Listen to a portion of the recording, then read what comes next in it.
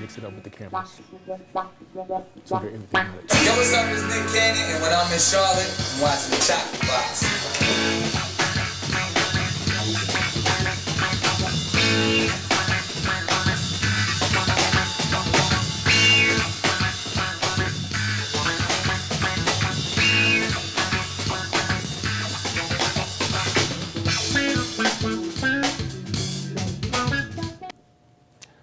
Good evening and welcome to another fascinating episode of the Chocolate Box Presents. I'm your host, Chocolate Drop.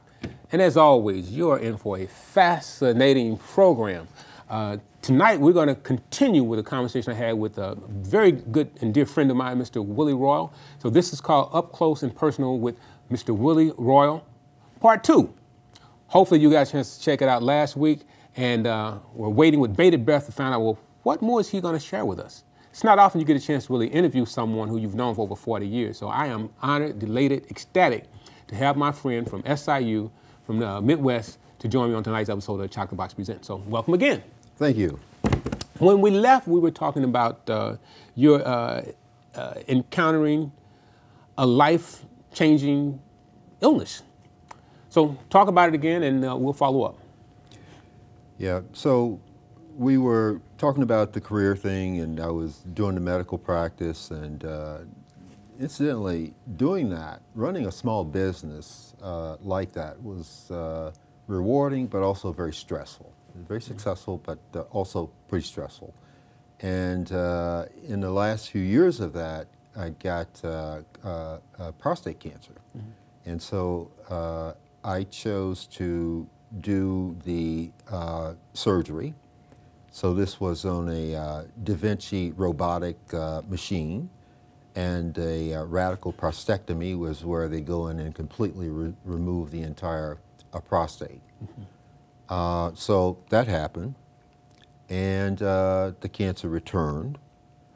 Uh, so interestingly, the insurance company did not did not allow a PET scan uh, which uh, would have detected it.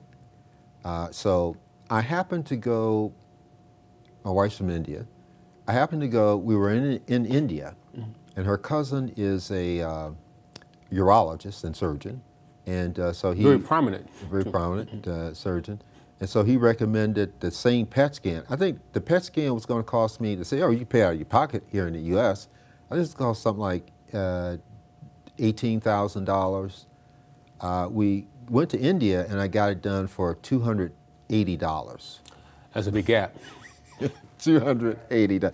Exact same technology. From identical a very technology. prominent uh, physician. Absolutely. Okay. Identical technology. So anyway, you know, we get back uh, to the States and of course, uh, uh you know, all the better, best uh, people are kind of looking at it and so forth. And so we do uh, we decided to do uh, radiation therapy, mm -hmm.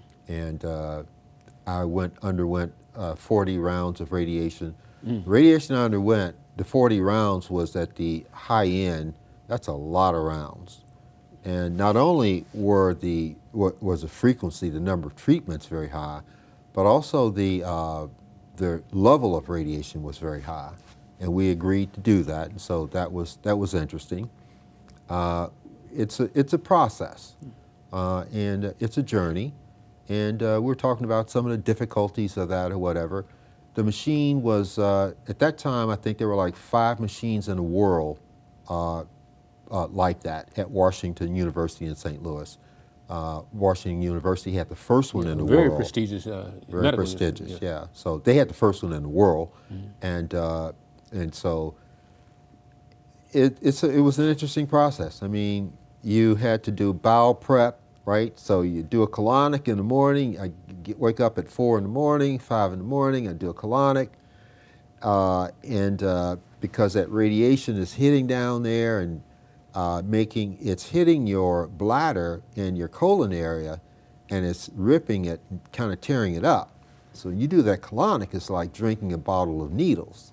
Mm. But you get up, start that off, four or five in the morning, uh, and I was about an hour away. Drove myself. Uh, do that. Go into the machine. Uh, you have to have an empty bowel but a full bladder. So then you drink all the water, fill up your bladder. Well, the the radiation may give you a hyperactive bladder, so you have to pee every three minutes anyway. But you're drinking all that water to fill your bladder, Something's got to give. And then you, you take you take a clamp, clamp your organ so that you can't urinate, and you go into there for an hour. I can't think of a of a better definition of hell than that, right? So you, And you survived all of that. that was that was that was an interesting process. Yeah, so did that. Uh, uh, then got the uh, went to was going to school, uh, knocking the masters out So at thi- that now, this happened before your you, you got your master's degree, right? No, I was You doing doing same the masters. Wow. Right, I had done one masters and I was doing another masters. Uh, so that was that happened during that masters. Uh, so took a little time off, uh, a few months off, and uh, then uh, went on chemotherapy, and uh, you know so uh, that lasted for uh, finished the masters in December of uh, 2020. And Just last year. that's last year, At 62, you finished your second master's. second masters. Okay. And then the, uh, you know, the PSA started rising again, so we're back to alternatives, you know, of, of going back on chemotherapy and so forth. And so, you know, it's the, it's, I'm at the end of a journey of a lifetime. I lived in a house, uh, Theatri, if, if the, starting off in life, if I had dreamed uh, 30 uh, lifetimes, I couldn't have dreamt of living in the house I'm living in. Tell us about your house. It's gorgeous. It's uh, f- almost 5,000 square feet of living space and so forth and that and whatever. But uh, it, but the, that's just the material part of it. Uh, so my point is that my point is that the journey of going from there uh, to whatever, I'm nobody as far as I'm concerned. I'm just a guy, right? And there's so many people like that who started with nothing or whatever. But what I like to say is that for other young black folk, like it, when I was in coming up in middle school or whatever, uh, dreaming, I just wouldn't have imagined. You can do it. You can do it, right? You can, you can, you can, and I don't know of anybody I can think of more than you, because I know you personally, in terms of repro. You can reprogram yourself to operate at whatever success in life you want to operate. Well- you make that journey. Well, and, and that's part of the reason why I wanted to do this program, what has now become these two programs, is that, you know, there's so many people out there like us who don't have access to media where people will even hear their journey. And so from what you shared with us during the first episode to what you shared thus far, I wanted to kind of put a face to it because when we watch the local news and national news, you know, we get little snippets, you know, of who black men are, where they came from, and how they end, and that's it, you know. So for those people who take the time to watch the last uh, episode that we did, and well as this one, we still got some more stuff to cover. It puts a face and a story behind a black man who persevered in the face of adversity, scaled heights, had challenges to come totally outside of their doing, and still continued. So with that as a transition to talking about um, the inevitable transition, you wanted to do certain things and you wanted to be known in advance. Talk to us about that. Uh, yeah. Uh, oh, one thing I want to do. Sure. Uh, We were talking about uh, on the last program. Mm-hmm. We're talking about uh, SIU at Brazil. So keep me on track. Go ahead. Yeah, keep me on track. But we're talking about uh, the uh, the going up to SIU and whatever. And my I'm older sorry, brother. SIU is for Southern Illinois University, University. at Edwardsville. There's also an SIU, Southern Illinois University at Carbondale, but we're talking about Edwardsville. Edwardsville. Yeah. So I, I get up there without housing, and uh, I'm sleeping on my oldest brother's floor. Uh, and, uh, you know, my kudos to, to my big brother. He's two years older, and, uh, you know, he's first, he was the first generation to, to, to go to college or whatever. He set the example uh, for us, and, uh, uh, you know, I just, all of my brothers and sisters, uh, we, we, we, we did the we did the best we could, and so anyway, I, I, Yeah. I want to want to do that. So anyway, and he back- plays Omega Psi Phi, which inspired me to not play Omega, but to play Alpha. But uh, shout out to uh, Clifford Royal. Shots Clifford. So, uh, so in any event, you were asking about the transition. Tell me. Right. Well, I, I, speaking of SIU, there was a class that they taught dying with uh, uh, death and dying. Oh, with, Death uh, and uh, Yeah, Dying. Mm-hmm. Eli- Elisabeth Kübler-Ross. You know, so she wrote a book, and uh, I forget the name of the instructor, but that was a very uh, eye-opening class for me at you know what, 18, 19 years old. You know, I don't know if you took the class as well. I did not take that Okay, class, but I but I've read that book. Yeah. So when you share with me some of the things you share with me, some of which you've talked about here, you know, I felt that to have give you an opportunity where, just so that people can know what are you, what are your wants and desires, what are your wishes as you move forward into this next phase of existence we call life. What would you like? it, there, there are times when I look at my life and I feel like, what, you know, what kind of Frankenstein creation am I, right? I mean, I do the education thing, I do the medical practice thing, and, uh, you know, I, you know, what, you know, what is that, right? But the thing about the medical practice is that um, my wife was, we were internal medicine, rheumatology, and functional medicine. Functional medicine deals with looking at the human being, body, soul, spirit. Mm-hmm. And we're talking about people who are people who are at the very top echelons of their trade craft in medicine at the top university medical universities in the world. So mm-hmm. these are people who are extraordinarily talented academically, mm-hmm. but they drop the pretense, right? And so they get into the healing arts of medicine and drop all the bourgeois crap and ask, how do you heal a human being? How you look at the human being in a true complexity of what they are, body, soul, and spirit, right?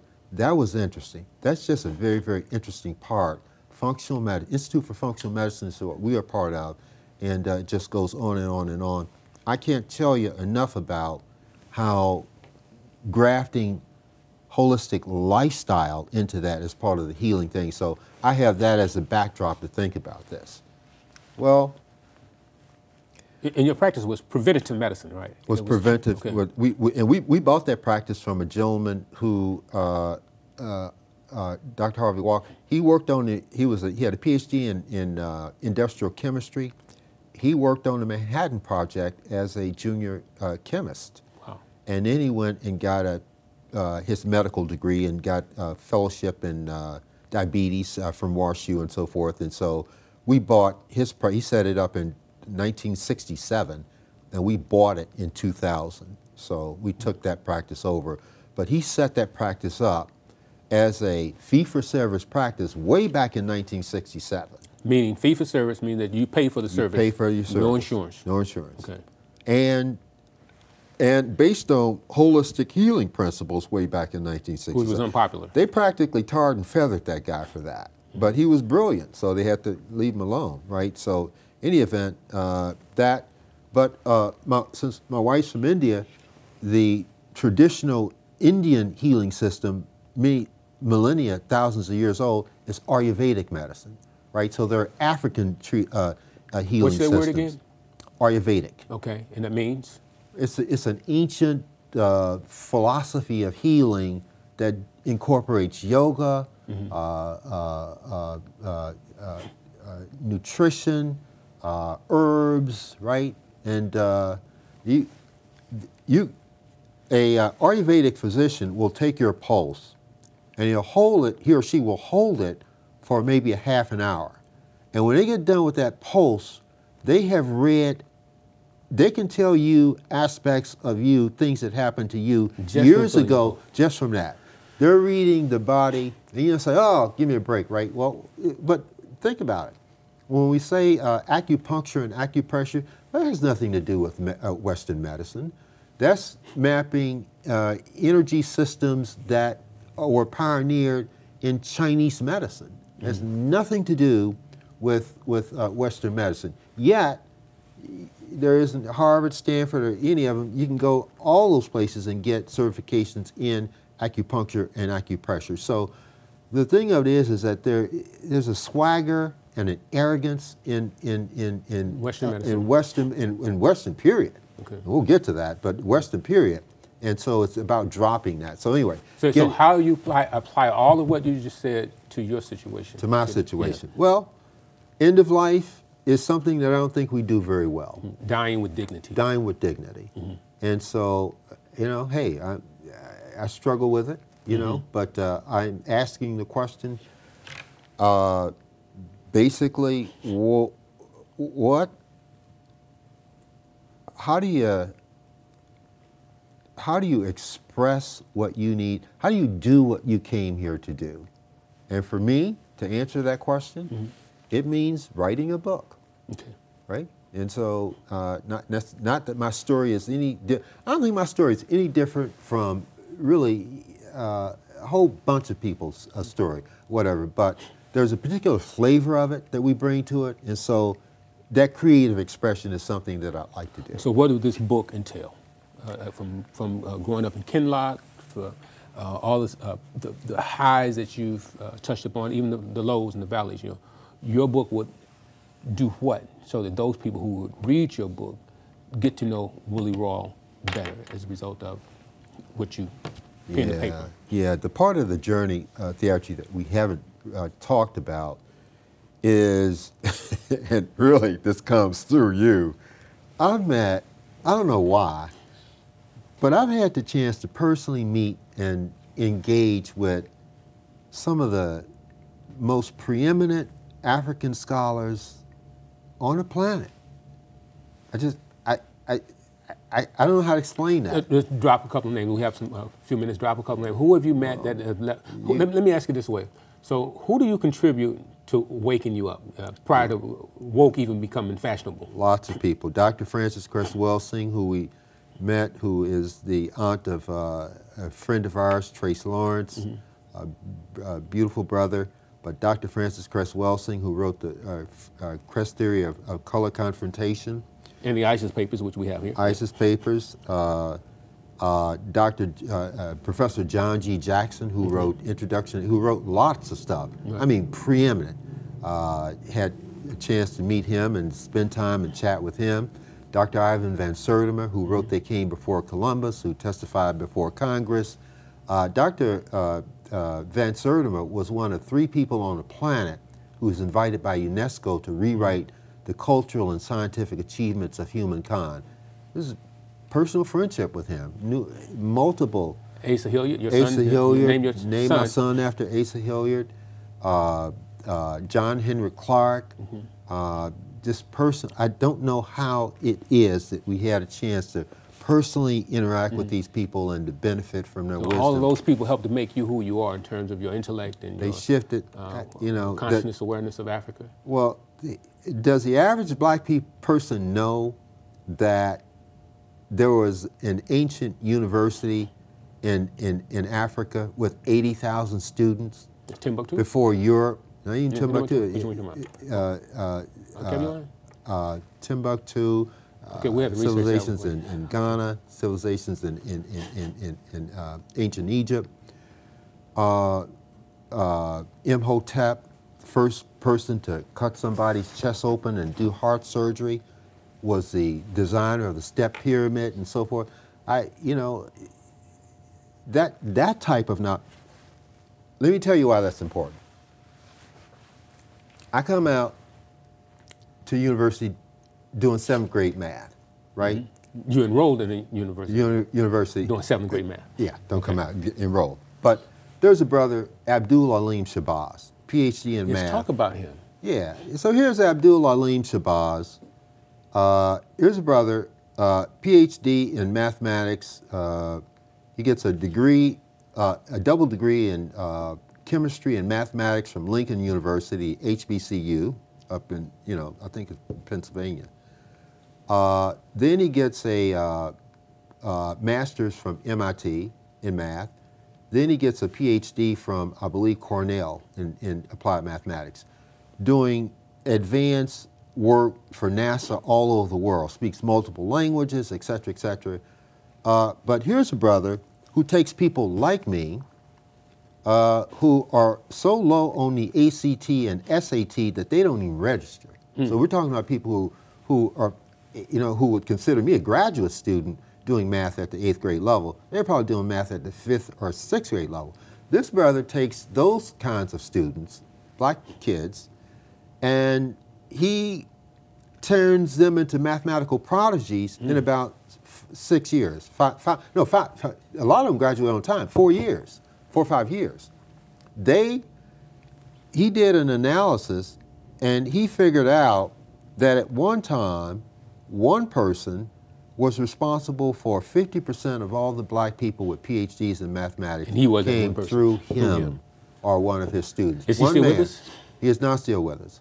But my point is that people say, oh, yeah, you're taking the best and the brightest. No, they were people like me. Mm-hmm. And that, that's the whole point of this. If there's any point to this, is that there's nothing special about me.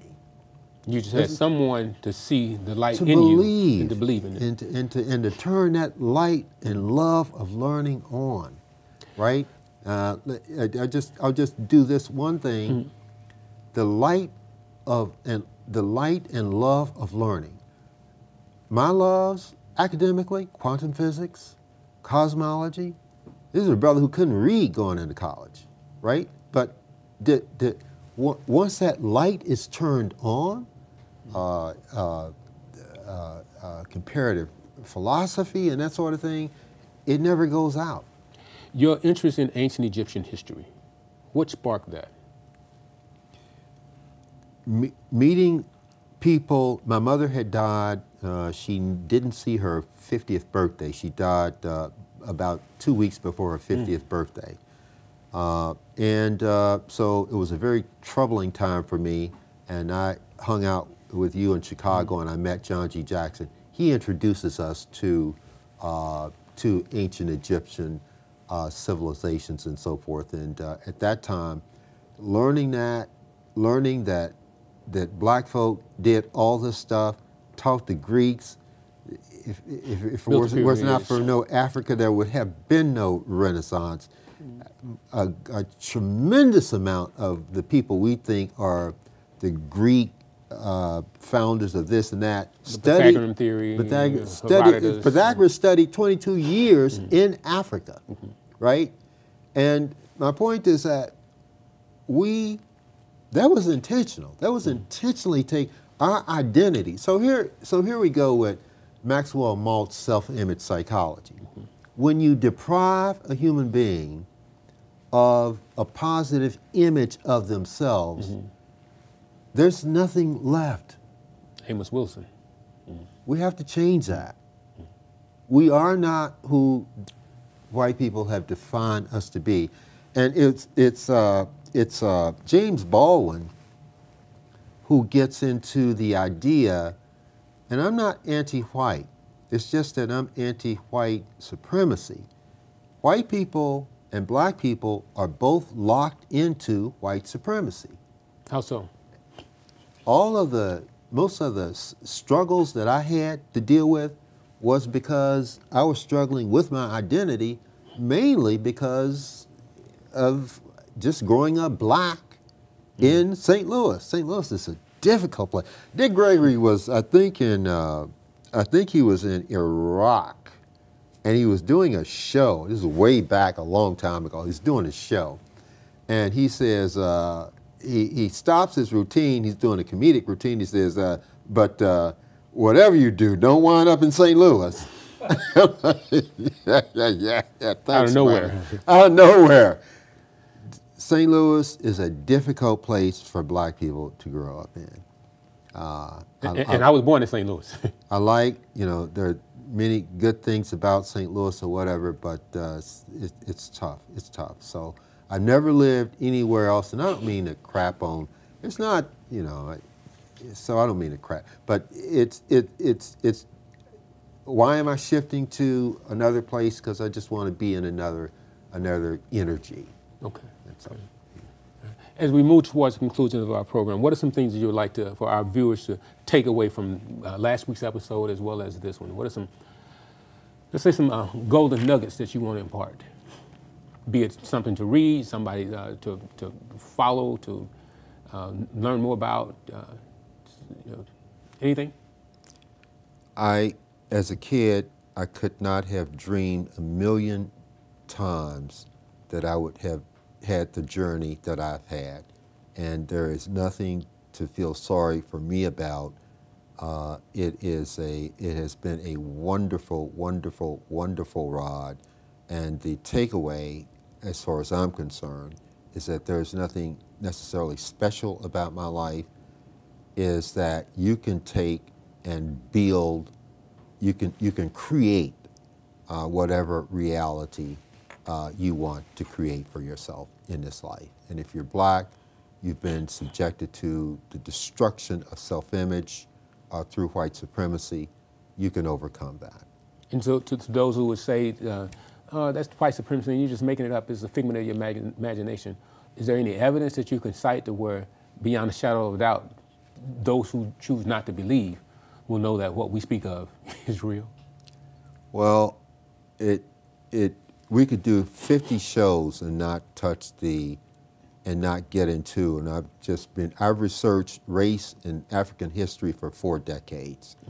And I can tell you that there are now beginning to be people when, when, when, the, when Hitler got ready for an inspiration of where to build, set his legal code up, he sent his researchers to the University of Arkansas at Fayetteville In the United States of in the United States, and he looked all over the world. And this is at a time when Germany produced more uh, Nobel Prize laureates than any other country in the world. This hmm. was the most technocratically advanced country on the planet. But when they got ready to look for inspiration for their legal code in terms of oppressing people, they came here because we had advanced that to a level of statecraft that no other country on the planet, and it has infected every single institution in this society, non-peoples of, non-areas of people activity. What, And what an awesome segue. You mentioned the nine areas. As soon as you said it, I looked at uh, Neely Fuller's book uh, where he talks about the nine areas of uh, people activity. And uh, he opens his book with saying that if you do not understand racism, white supremacy, what it is and how it works, everything else will only consent, everything else will only confuse you. Uh, it's Neely Fuller Jr. Listen, we are at the end of our program. I can't thank you enough for being so candid and, and transparent and sharing with us your journey. And hopefully our viewers have um, learned something from it and will help to make the world a better place in their own uh, way. So thank you so much. And I want to thank the viewers for tuning in. Uh, I have been uh, speaking with Mr. Willie Royal. This has been a personal, uh, uh, a personal up close and up close and personal, up close and personal conversation with Mr. Willie Royal. My name is Chocolate Drop. We'll see you next week. Thank you for tuning into the Chocolate Box Presents. And thank you.